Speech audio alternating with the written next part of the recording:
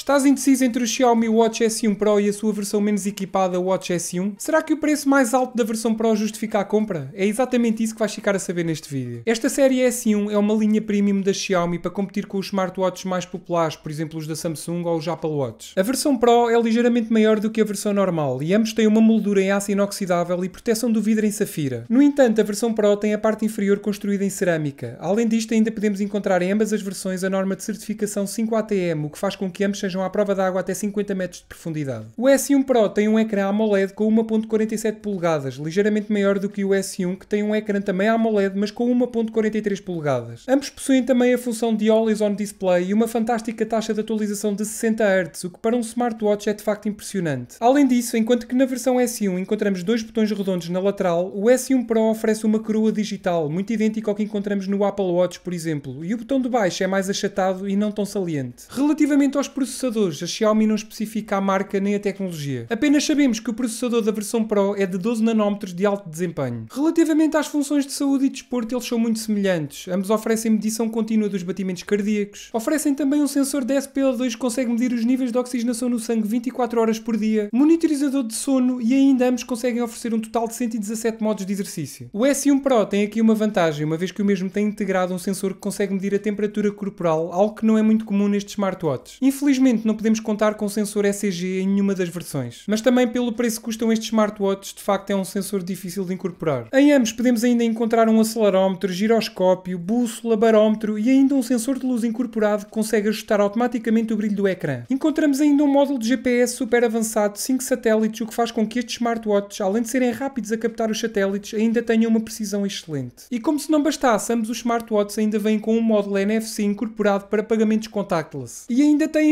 microfone e uma coluna integrada para podermos efetuar e receber chamadas telefónicas no próprio smartwatch, o que é uma característica que muitos procuram. O sistema operativo que vem incluído é proprietário da Xiaomi e, segundo os mesmos, além de ser possível fazer muitas customizações, ainda é possível instalar várias aplicações desenvolvidas para estes smartwatches, o que é algo sempre bem-vindo. O S1 Pro, sendo ligeiramente maior, também tem uma bateria maior com 500 mAh, ou seja, a marca anuncia que o mesmo aguenta cerca de 15 dias com a utilização normal, ou então 5 dias se tivermos o Always On Display sempre ativo. Já o S1 vem com uma bateria mais pequena com 470 mAh e a marca anuncia que o mesmo consegue aguentar até 12 dias de utilização com uso normal. Uma grande vantagem destes smartwatches da Xiaomi é que os mesmos são compatíveis tanto na plataforma Android como em iOS, ao contrário, por exemplo, do Apple Watch que só funciona na plataforma iOS. Ou seja, este género de smartwatch é o ideal para quem tem, por exemplo, um iPhone, mas não quer comprar um Apple Watch. Por isso, tem aqui outra solução que funciona e funciona extremamente bem. A versão global do Watch S1 já se consegue encontrar praticamente em qualquer site por preços a partir dos 180 euros aproximadamente. Enquanto que no caso do S1 Pro ainda não existe uma versão global, mas acredito que não demora muito a ser anunciada, e na China o mesmo está a ser vendido pelo equivalente a cerca de 215 euros. Mas obviamente que a versão global vai ser ligeiramente mais cara. Quero relembrar que também existe uma versão S1 Active com um design mais desportista e que partilha também de muitas funções deste S1 e do S1 Pro. Na descrição deste vídeo vou lá deixar links onde podes comprar estes smartwatches com um preço brutal, por isso se estiveres curioso já sabes, vai lá dar uma olhada que eu tenho a certeza que não te vais arrepender. Muito resumidamente, a versão Pro tem um ecrã maior e proteção em cerâmica na parte inferior.